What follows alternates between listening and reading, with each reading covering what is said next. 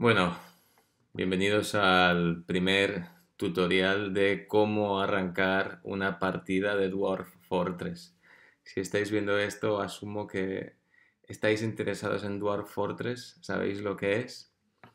Si no sabéis lo que es, em, bastaría con deciros que es un juego, que es un base builder, como podrían ser Rimworld, o como podría ser Oxygen Not Included, o como podría ser SimCity, aunque tiene algo más de, simulador, que su interface es abominable, es probablemente de las peores interfaces de usuario que existen, que es muy difícil y que sería el de los pocos base builders roguelike que hay, si ni siquiera existe esa categoría. Entonces, con estas advertencias quería daros un par de ramo truquis para arrancar el juego y para empezar vuestra primera partida en Dwarf Fortress, que suena como una trivialidad y está lejos de ser. Entonces, el primer ramo truqui, ramo truqui número uno, sería no instalar Dwarf Fortress. Parece una chorrada, pero no es el método más fácil para jugar a Dwarf Fortress. Entonces voy a pasar a, pasar al compartir mi maravilloso escritorio. Lo que tenéis que buscar en la internet si queréis jugar al Dwarf Fortress en realidad es el Lazy Newbie Pack. Es gracioso que se llame Lazy Newbie Pack porque no creo que ningún novato de Dwarf Fortress lo utilice. Es más em, una utilidad que mejora mucho, mejora muchísimo la forma de arrancar el juego, eh, de instalarle mm, skins gráficas y de enchufarle la herramienta Dwarf Hack que veréis que es muy útil en lo que viene siendo todo el juego. Así que mi primer ramo truqui es no instalar Dwarf Fortress, instalar Lazy Newbie Pack. Entonces yo tengo el de Mac que tiene más o menos esta pinta. Eh, podéis configurar chorradas. Em, yo tengo yo tengo básicamente con CLA o con Curse Plus, que son los que me gustan a nivel de paquete gráfico. Pero básicamente, si lo dejáis por defecto, es lo que más se asemeja a la partida normal que jugaríais y es lo que recomendaría para arrancar. Así que, sin más dilación, arrancamos el juego. Y esto es lo primero que se ve a la hora de arrancar Dwarf Fortress. No, eh, me he saltado la intro, pese a que es muy bonita, la he visto 800 veces y la tengo deshabilitada. Entonces, aquí hay dos opciones que en la primera partida no veríais, que son Continue Playing y Start Playing. Habitualmente lo que veríais al arrancar un juego nuevo de Dwarf Fortress únicamente sería Create New World y las otras que no voy a leer porque paso. Entonces, em, lo primero que se tiene que hacer al arrancar Dwarf Fortress es crear un mundo donde jugar las aventuras de los enanos locos. Entonces, al crear el mundo, nos ofrece unos parámetros de configuración. Esto es la advertencia de que es una beta y que es una SEMA, pero bueno. Y los parámetros de configuración son estos. Em, de nuevo, ramo truqui recomendación es arrancar así el resto lo dejamos por defecto. Esto lo que hace es que la generación del mundo sea más corta. Es decir, si el mundo es más pequeño y la historia es más corta, no nos tiraremos 10 minutejos aquí mirando una generación procedural del mundo y la historia que bien bien pueden pasar.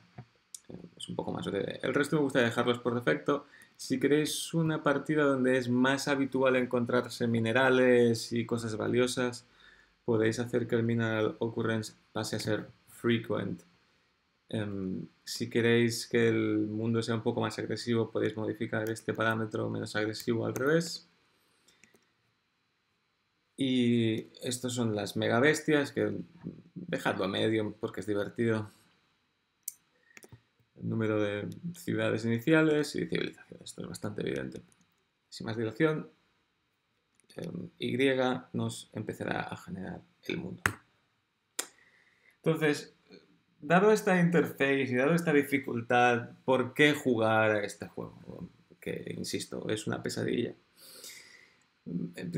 principalmente porque es divertido. si te gusta el rollo base builder, em, es una experiencia única, es divertido, las historias que se generan son genuinamente entretenidas. Porque es un desafío y porque si eres un poco rarito como yo, em, puedes ganar unos puntos en, en raritez Vale, el, mundo ya se ha generado. Em, insisto que los parámetros que hemos configurado han hecho que vaya un poco mejor, un poquito más rápido. Entonces, las opciones que tenemos aquí, veréis que en general la interface se controla a través de, teclado. Veréis que aquí abajo tenemos tres opciones que son aceptar, abortar y exportar. Vamos a aceptar el mundo. Y mientras se carga, decir que sí es un desafío y es divertido y además es, una experiencia realmente única. Em, además, va a salir a Steam ahora y, es posible que su popularidad aumente ligeramente en el futuro cercano, así que, bueno, pues no digáis que Ramón nos advirtió de, la ola que iba a llegar.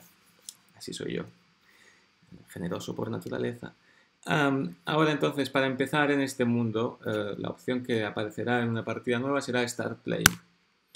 Y aquí tenemos el mundo recién creado, los otros se llaman Nuevo Mundo y Región 2, porque soy idiota y los, renombro así. Eh, el que toca es este. Entonces la opción que vamos a jugar es Dwarf Fortress, que es la opción clásica. Um, Adventure sería un juego más tipo eh, Skyrim, con todas las salvedades, controlas solo a un personaje que va evolucionando y Legends eh, básicamente es un visualizador de toda la información. Insisto que lo que queremos es Dwarf Fortress. Así que le voy a dar. Entonces lo que va a hacer ahora es eh, calcular dos semanas de, juego. Mm, imagino que para darle un poquito también de carácter de viaje y nosotros vamos a representar un grupo de enanos que buscan un asentamiento nuevo en el que fundar una, ciudad, una nueva, una nueva rama de la civilización enana. Entonces, lo primero que vemos aquí, esto que vemos, es el mapa del mundo eh, dividido en una región. Como podéis ver, el cursor se mueve tanto a la izquierda como a la derecha. Y aquí a la izquierda Mm, vemos una, sección del mundo. Es decir, esto que selecciono aquí en el centro,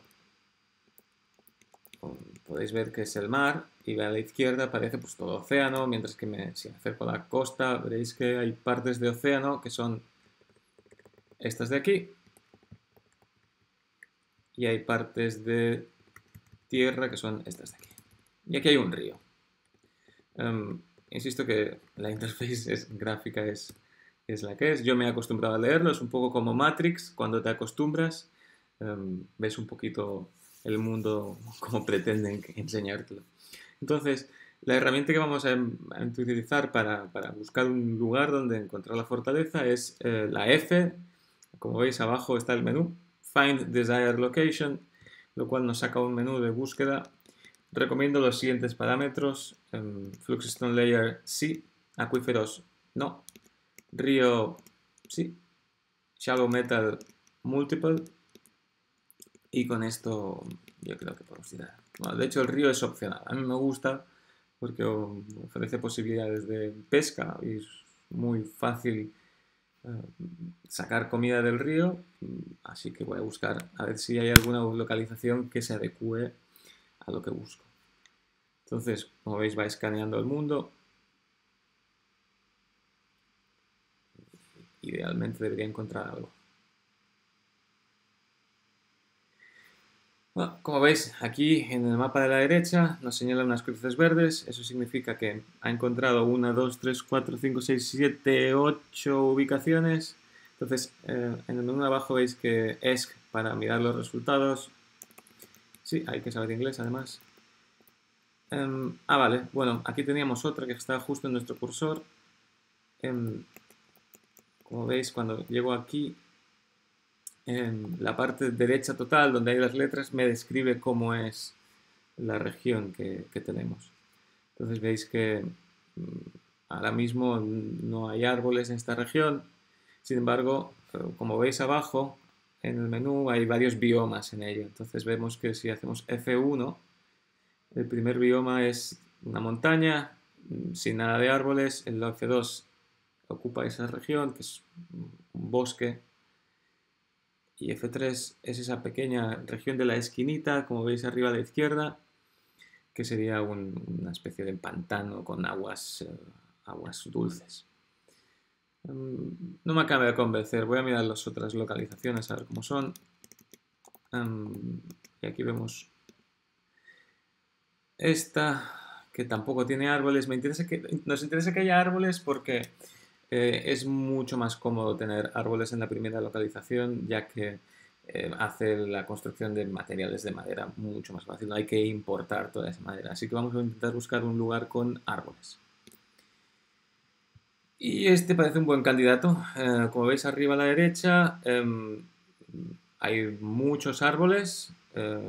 Es una los alrededores em, es la naturaleza, es parece bastante normal. Entonces, en los diferentes menús voy a apretar tabulador para ver las diferentes opciones de información. Como veis, los vecinos son enanos, goblins, eh, con los que estamos en guerra, elfos humanos y una torre. Entonces, eh, no interesa tener una torre en vuestra primera partida porque la torre es un lugar de nigromantes. Y los no muertos son unos hijos de puta de mucho cuidado. Así que recomendaría que vuestra primera partida, a no ser que queráis que sea muy breve, no vayáis a un lugar con una torre. Entonces vamos a volver al primer lugar. Vamos a buscar otro, otra ubicación. Vamos a intentar con esta. Y aquí veis que, bueno, Mm, hay menos árboles, hay una escasez de árboles, pero sí hay un río. Es una especie de desierto, desierto con cactuses, imagino que será. Pero creo que nos podremos apañar. Creo que nos podremos apañar. De nuevo, miramos los vecinos y vemos que hay enanos, humanos y goblins. Bueno, pues eh, creo que va a ser una primera ubicación interesante. Así que vamos a apretar la E para embarcar. Entonces, aquí, em, y esto es toda una ciencia a la que no voy a entrar, habitualmente yo optaría por la opción de prepararse para el viaje de forma meticulosa, pero vamos a ir con el, setup por defecto porque es perfectamente válido. Así que, párate.